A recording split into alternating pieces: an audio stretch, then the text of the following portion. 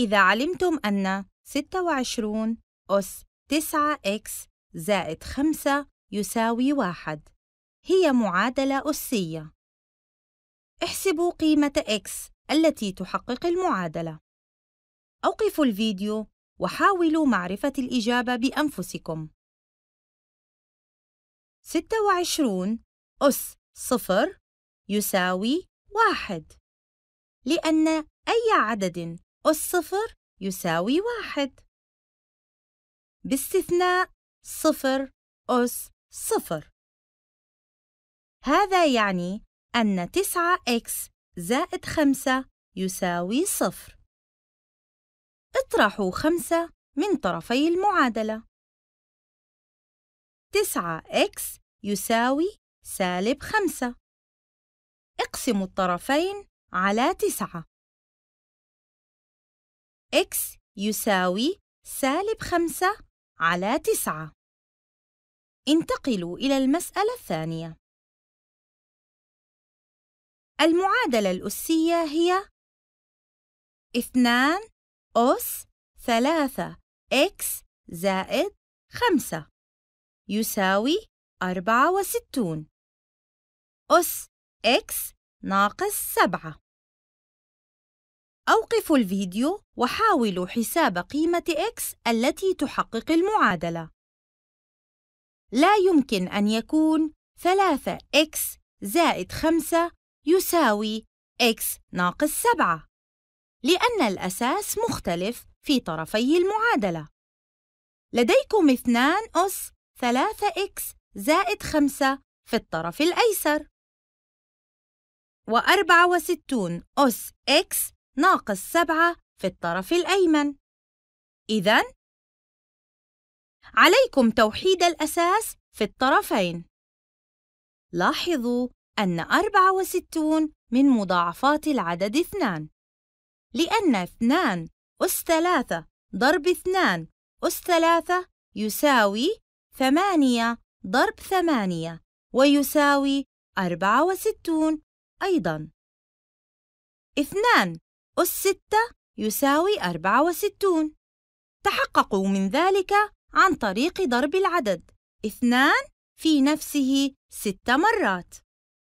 تحصلون على أربعة وستون. ثمانية ضرب ثمانية يساوي اثنان أس ستة ويساوي أربعة وستون. تصبح المعادلة اثنان أس ثلاثة إكس زائد خمسة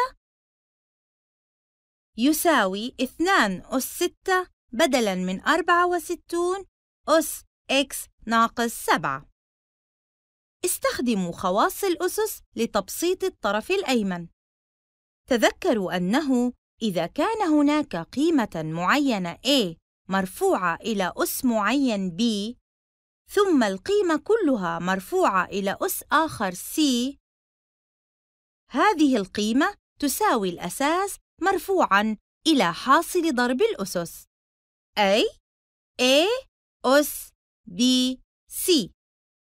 وبالتالي تصبح المعادلة 2 أس 3x زائد 5 يساوي 2 أس 6 ضرب x ناقص 7 أي أس 6x ناقص 42 لأن 6 ضرب 7 يساوي 42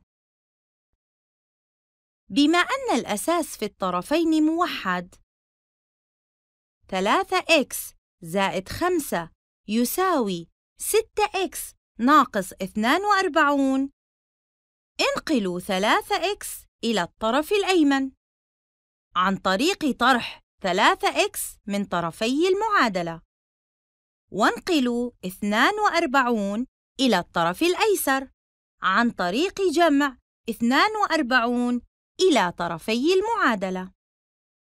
تصبح المعادلة اختصروا 3x مع سالب 3x 5 زائد 42 يساوي 47 سبعة وأربعون يساوي ثلاثة إكس لأن 6x ناقص 3x يساوي 3x واختصروا سالب 42 مع موجب 42 اقسموا الطرفين على ثلاثة. x يساوي 47 على ثلاثة. وهكذا أنهيتم حل السؤال.